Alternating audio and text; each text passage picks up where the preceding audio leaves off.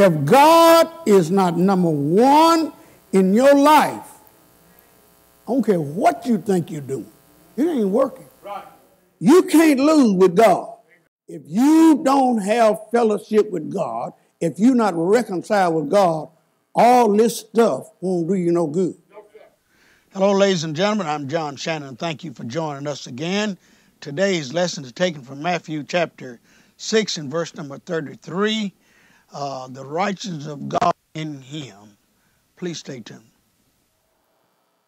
Matthew chapter 6, verse number 33 will be the main text for our lesson this morning. Thank you for being here this Lord's Day. In Matthew chapter 6 and verse number 33, our Lord said, Seek ye first the kingdom of God.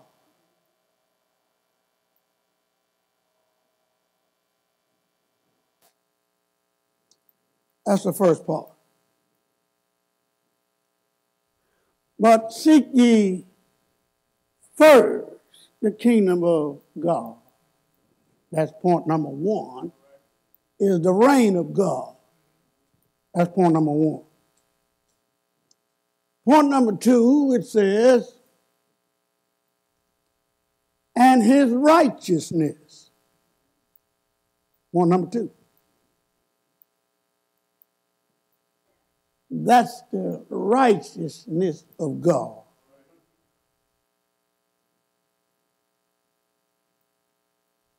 Point number three, and all these things shall be added unto you.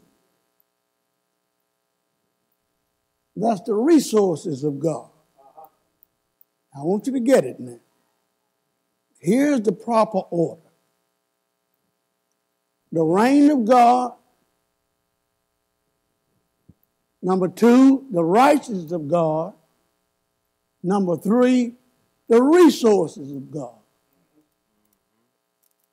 Now, over here is out of order. This is out of order, but this is the way we think. We want stuff for ourselves.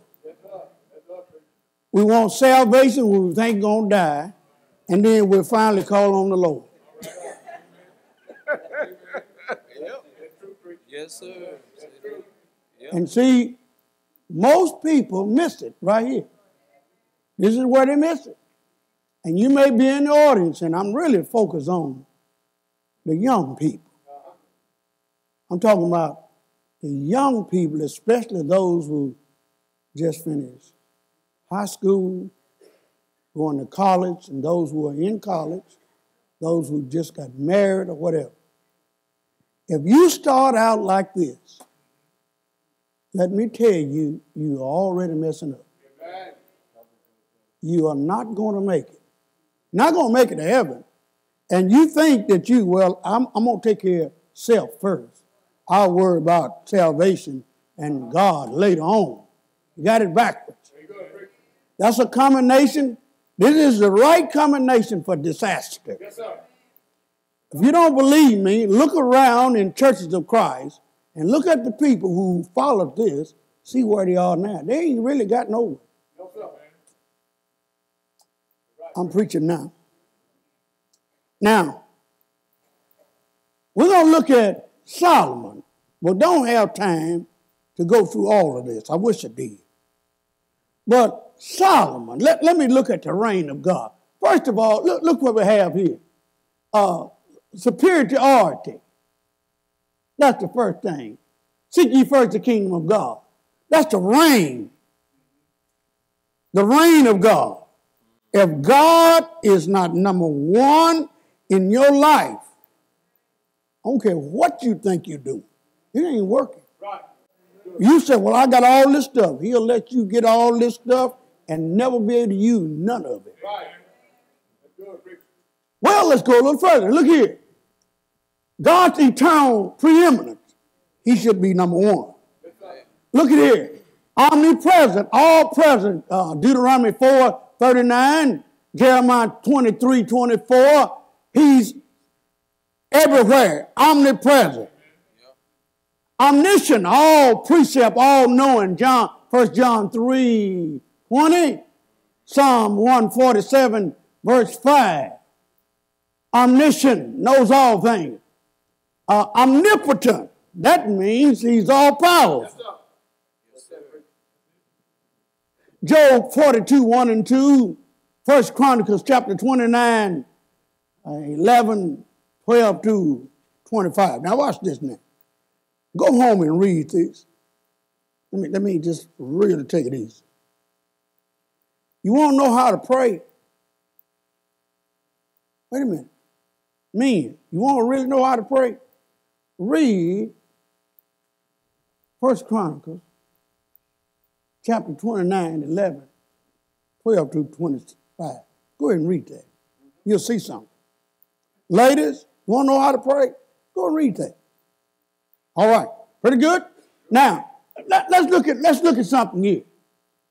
King Solomon, his wealth and his wisdom. The Queen of Sheba came from the far to see and hear the wisdom of Solomon. And you know what? When she got back, she said, uh, "The half has not been told." and Jesus speaks about Solomon. He says uh, the Queen of Sheba came from the far to hear and see the wisdom of Solomon, but you won't come across the street to listen to me. Now, and Jesus said, a greater than Solomon is here. All right, now, look what Solomon have here. Look at this. We have Solomon's dream. He had a dream. God spoke to him, and a young man, what is his name, brother? Uh, Taurus, uh, uh, Irvin did an excellent job in reading scripture there. Appreciate that. Now, he had a dream. God appeared to him in a dream. Look, look at this now. Uh, Solomon's dream, and in his dream, God asked him something. He said, What do you desire? God was delighted in Solomon's desire. He didn't want riches, he didn't want long life, he didn't want to see the enemy death. He said, Lord, I just want to know how to go in and out of that people. That's what he wanted. And it pleased God. Then we look at Solomon's what? Dividends. You know what dividend is? You know when you put money in the bank or in something, you get. Dividend. Dividend. dividend. Amen. Watch this here. You can't lose with God. Don't put the dividend in yourself because it ain't gonna work. And I'm talking to somebody that won't be more believe that in the man in the room. You gotta try it for yourself. I don't believe, Brother Shannon. Okay, go ahead.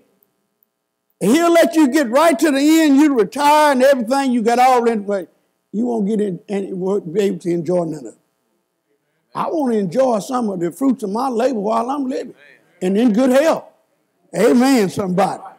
Got it? Young people, you need to listen. Young married couples, you need to listen. Stop. You, you want to put self first and stuff. You may think about salvation, but you've got God last. That is all messed up. We got some people here at this church been doing that for 40 years. And they they trying to figure out why, what, what's happening to them. What's wrong with me? Why is I can't get ahead? There it is. You got the wrong combination. Preach, Brother Shannon. Now, you see, and Solomon, he, if you read these scriptures here about Solomon here in Chronicles, uh, and the, the, the, the gold that the queen of Sheba brought him, he had so much gold, it has been said if you get 65 dump trucks, 65 of them full of gold, that's what he had. Wow, I don't think, uh, Wesley, I don't think you got a pickup truck of gold, do you? I don't think, uh, Keith, you got a handful of gold. Can you imagine 65 pickup trucks of gold? Where did he get it from? God gave it to him. What? Boy, I don't have. I, I, I wanted to bring uh, this little boy up here, this sister here. I don't have one. Oh, there's one right here. I didn't forget my, my candy bowl. And uh, that his name is uh, Reno Jr. I was going to let him stick his hand in, in the candy bowl and get a handful of candy. Now, if he was smart, he said, Well, i tell you what you do, Brother Shannon. You reach in there and get it because your hand's bigger than mine. See, you're trying to get rich, let God do it. He'll give you more you can handle. Are you listening? Some of you not listening, you ought to be listening. Because you think because you're going to school, you're going to college, you got a good education, you got a good job, and all, you think it's you. Deuteronomy 8 18, don't you think that? It's God. All right, that, that's enough along those lines there.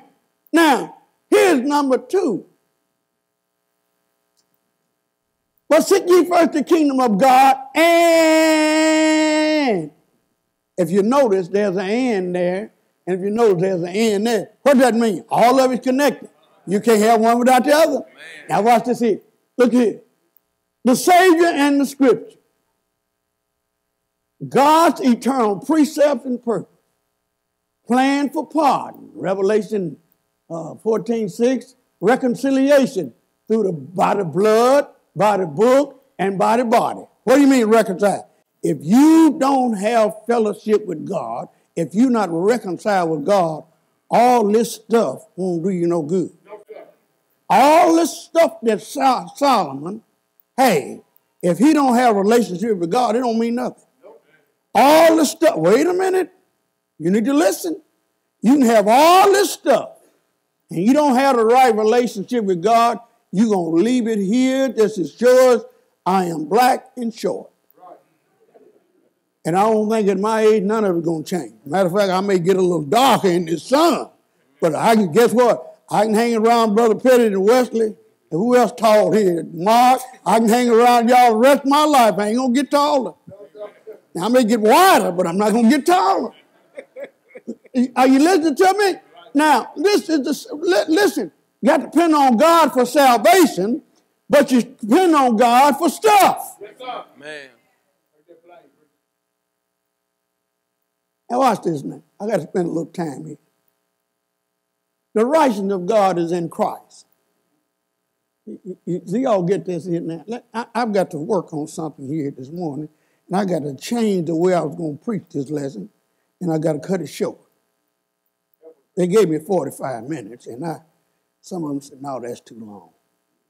That's what Rico say, but he ain't running nothing but his mouth. This is the first Sunday. Now watch this now. Let me show you something about the righteousness of God in him. To have a relationship with God, to have fellowship with God, Christ Jesus had to come to this earth, take on human flesh. He lived a perfect life, sinless life. He died a vicarious death. What do you mean by he died in our stead? He's the innocent died for the guilty. Every man that ever born and commit one sin, Christ died for him. You listen to that? Now, the righteousness of God. What do you mean, righteousness of God? Well, we know God Himself is righteous. But how God makes man righteous is through the system that Christ brings, and that's the gospel system. Amen. You with me? Wait a minute. Don't go to sleep on me. Stay with me. Now, I'm going to say some things now may disturb some of you, but it's not my intent to disturb, but to help. The righteousness of God, 2 Corinthians 5 21, is in him.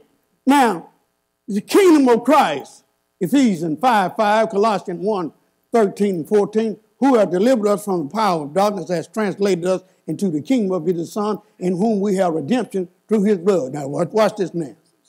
See all this old hit money? If you think this is the greatest thing in this life, you missed it. And we live in a materialistic society, yes, and everybody trying to get money, money, money, more and more and more.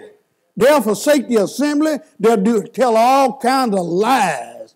Why they can't come to services. They'll just lie, lie, tell me a lie. They'll lie in a minute. Why they can't do this and why this, you lying. You're lying to yourself.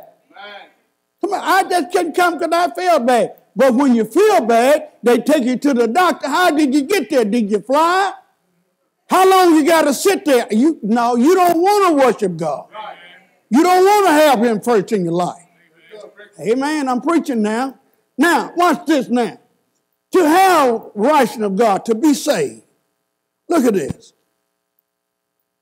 I want you to really listen to this. Boy, I don't time went over. It's been 15 minutes. I think it's 15 minutes. You got to hear something. What do you hear? You got to hear and believe this that Jesus Christ came, put on flesh, lived a perfect life, didn't do no sins. He died on Calvary's cross, and God was pleased with that. He was buried, he rose again the third day. You must believe that. You got to believe that. Now, watch this.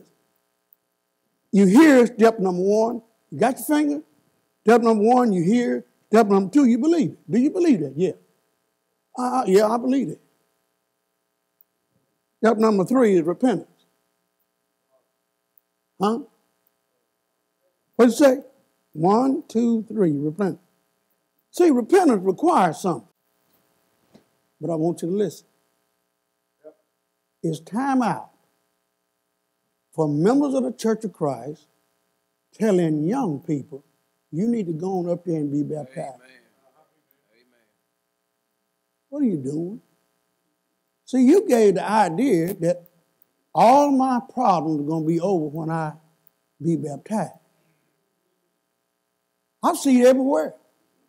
I'm not quick to baptize anybody anymore because we got too many folks at James Road who was baptized who wasn't converted to Christ. And all they doing is coming and they're not converted to Christ. Amen. They're half converted. The first thing you need to do is change your mind. What? A lot of times we bring somebody here, well, you going down and be baptized. And knowing they don't believe in Jesus. And knowing they hadn't repented, but you'll tell them to go be baptized. Uh-uh. Sometimes unfaithful members will bring folks here, say, you and I be baptized. You don't see them no more in six months. What is going on here? Unfaithful members, if you don't know how to teach people, stop telling them that they need to be baptized. First thing they need to do is accept Lord Jesus Christ for what he is and what he's done. So that requires teaching about his blood because his blood is for the remission of sin. And you got to be taught that I've got to give total loyalty to God.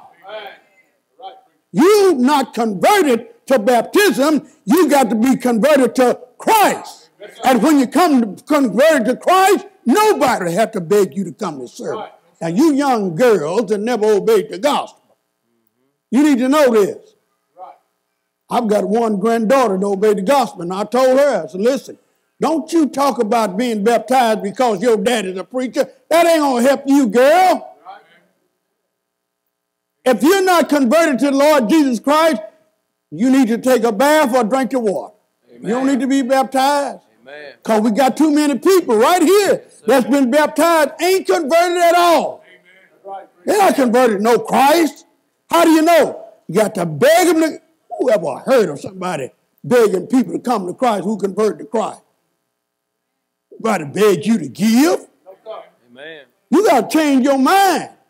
You're getting ready to come to the Lord Jesus Christ, and everything, all I have, belong to God. I called members of the Church of Christ that they were so-called baptized. Well, I ain't, I ain't, I ain't forgot you. See that kind of stuff. But you won't do that if you work at FedEx. I ain't, well, I ain't forgot. I know I got a job there. No, uh, look here, you don't have no job no more. That's what they're gonna. You don't have. You may think you got a job. I'm helping somebody now. Are you ready to repent? Well, what do you mean repent? Are you ready to turn away from sin? It has to do with the changing of your ways after you change your mind. Wait a minute. You young people, listen to me. I'm not talking about you already been baptized. I'm, if you don't believe me, you young people, look at the people that's been baptized at your age and see how they attend service. See if they come to Bible class. See if they read the Bible. See if they participate. See if they give. They ain't converted. Right. Now, see, I'm preaching like this. It's just like it's a gospel meeting. Yes, sir. Somebody said, Brother Shane, what are you talking about? No, no, no, no, no, no. Yes, sir. Mm-mm. Yes, sir. I remember my conversion, January 22nd, 1978. That's when I was converted to Christ. I have missed one service. Not one. Are you bragging? No, that's bragging. That's facts. Because Brother Saints came to me and said, Brother uh, Shannon, Shannon, aren't you about ready to get wet? I said, No, I haven't totally repented. I got to make up my mind. I got to leave the Catholic Church alone, and I got to stop chewing tobacco, and I got to stop drinking whiskey. Amen. Amen. Right, preacher. Be true to yourself. What? Cursing. Listen, you can't say no curse word I don't know. I invented them. I ran with the devil's children that know all the cuss words. Well, what's the conversion? It requires you to change your mind, change your ways. You ready to change your ways? If you're not ready to change your ways, you're not ready for no baptism. Now, I don't care what somebody told you, just go and be baptized. Ah, preacher. repentance comes before baptism. Amen. You got to change your mind. What, let me give you an example. If you're dancing, and say you go to school and you're on the dancing and you're a majorette going around half naked, you don't need no baptism. You need to change your mind, get out of that junk. Amen. If you're in a church that's not in the scripture, you need to change your mind, come out of it. You ain't ready for no baptism. You think you're going to be baptized, I'm going to baptize in Christ, and still walk around with your dress up like this? Oh, come on, man. Amen. We got too much of that foolishness in the churches of Christ all over America. Amen. They had repented, walking around with your clothes in tight on, Yes, sir. showing everything. You talking about you've been baptized. What? You can be baptized in a water where every know every bullfrog in the pond. It ain't gonna help you at all. You got to be first converted to the Lord Jesus Christ.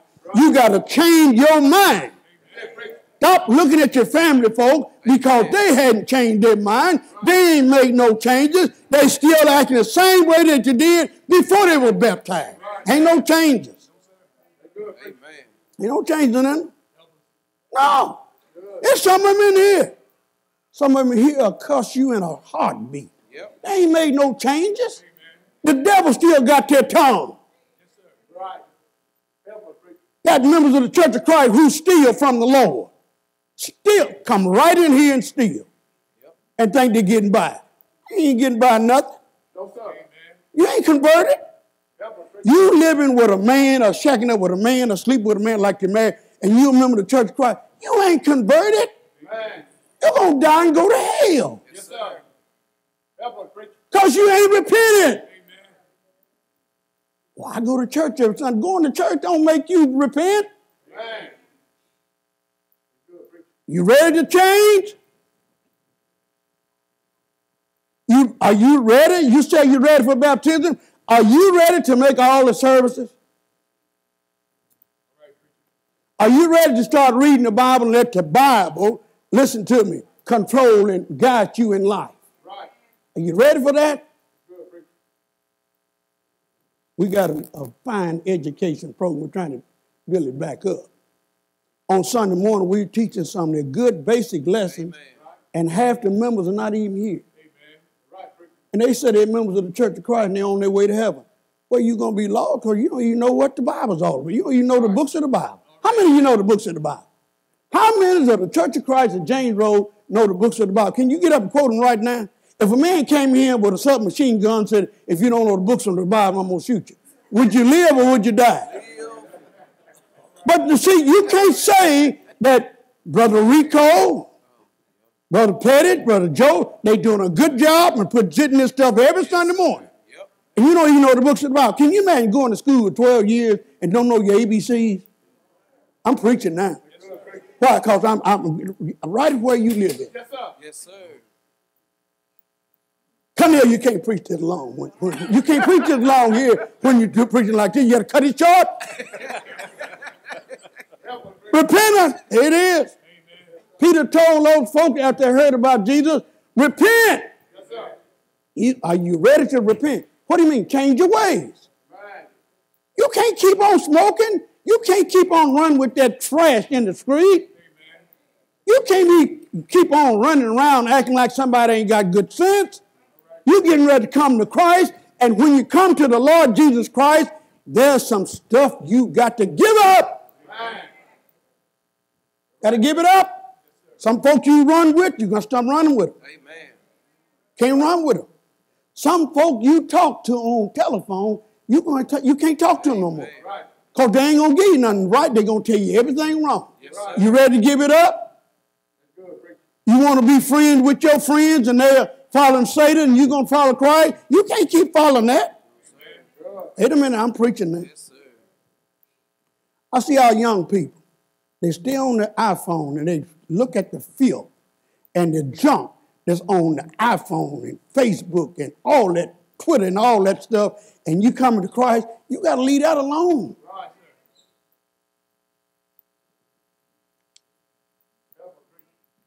Brother saying, I got it. You can go first. Okay, you got it. Will you confess with your mouth your faith in Jesus? What's the confession? You don't confess your sin. You say, I believe that Jesus Christ is the Son of God. That's what you're saying. Now, you know what you're saying? You're not going to make the confession just one time. The way you live, you're going to say, I believe and respect that Jesus Christ is the Son of God. Your whole life is changed. When you come up out of that water, you are saying to the world, I belong to Christ. Let me, let me do this here. Joe, here's another. You know, when death takes place at a house, say a husband and wife is at home, and the husband die, there's a missing chair in that house. Somebody say amen. When one obeys the gospel, he dies to the world. His seat that he used to sit in in Satan's kingdom, he don't sit there no more. Amen. There's a missing chair. Now you can't go and say I'm in the kingdom of Christ, and Monday morning you back over there in your chair with the devil. Oh no, you ain't made no changes. Oh, they got it, boy. Willie, you got it? Yes, sir. Confess Christ. Now, now, now we can talk about baptism. What you? Now we can talk about baptism. What? We, we can talk about baptism. Since you've got the good understanding about baptism now. See, you thought that you could be baptized, repent later, keep on doing what you're doing. No, you got it wrong. It ain't gonna work. You see Rico's head. I love Rico. Rico, Rico, my Rico had come a long way in his family. Good? Now, you ready for baptism? Now, watch this now. And look, look, look at this. God is saying, if you recognize me as who I am and honor me, obey my son, listen, uh, you have salvation. And the stuff over here, don't even worry about it.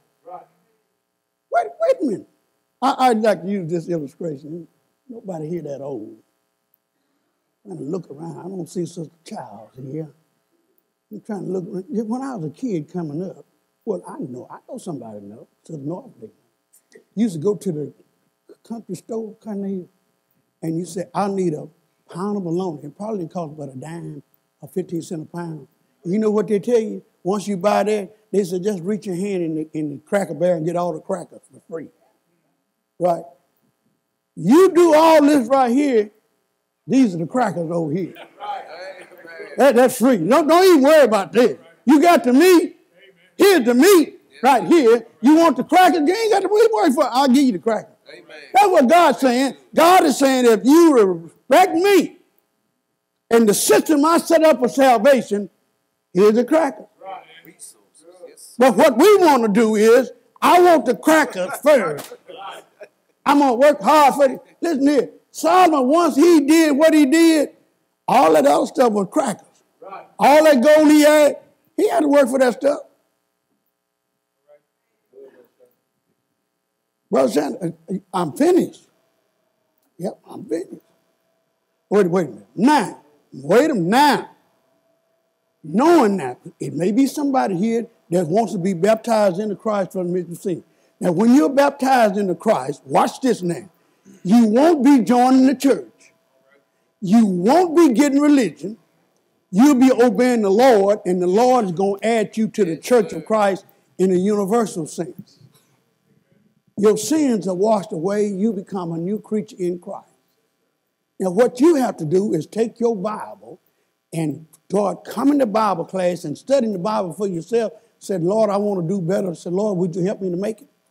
God will help you to make it. Right. He'll do it today. It may be one or two in this audience. Sometimes I preach like this, a whole bunch of people come down to obey the God.